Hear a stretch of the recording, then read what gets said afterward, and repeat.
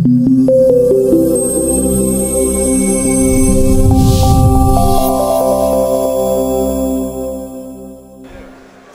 products in this range include fuse holders. So we have fuse holders for ANL fuses and also for Class T.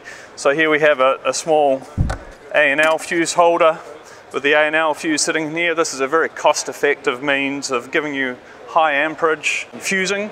Uh, very compact cables, cables come in. Again, we've got the Pro installer, same interconnection height. So you can see that we've actually used the same product up in the cluster here, where we're clustered in, into our easy mount switch. You mix and match all of your products like Lego blocks. This is what Pro Installer is all about. Another innovative product, another uh, ANL fuse holder, is this through panel fuse holder. With this, it's designed so that the cables actually come in from the back. So we can actually, we might have a battery switch on a panel, we can put the fuse holder and it's out in the open, it's easy to inspect the fuse to check whether it's the, you know, the fuse is okay.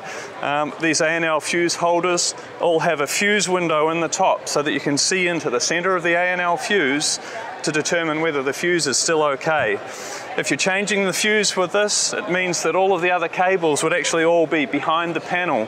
So there's less chance of getting a, a short from a spanner or, or socket set or anything like that and make, makes it nice and, nice and visible. So much easier for the user and a much tidier installation if you ever go to change, change a fuse. We, we then move into what we refer to as our double studded fuse holders. So again, this is another ANL. This, this one will cope up to uh, 750 amps. Uh, these, these two units here, um, currently rated at 300 amps, but we're actually uh, changing the rating on that to 500 amp unit. Uh, this one a, a 500 amp unit. But for heavy duty use, we go to this fuse holder and the advantage of this is we have the extra studs on the end. This means that we can secure the, the, cables that are carrying all the current and we can change the fuse independently. This means that when you do the installation, you can install the unit, you can install the cables on, and then you can bring the fuse in at the, at the last moment in the installation.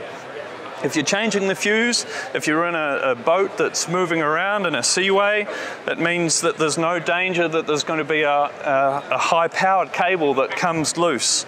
And so that's why we recommend this for uh, high power applications and, and with the rating of 750 amps. So those, those three are our ANL fuse range.